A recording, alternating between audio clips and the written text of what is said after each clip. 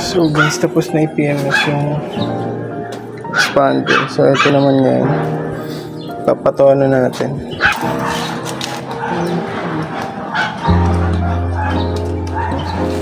Tapos wala na rin itong brake sa likuran. Sa harap meron pa. Yan. So, dadaling ko ngayon sa paggawaan. Sheesh. Pogi pa rin.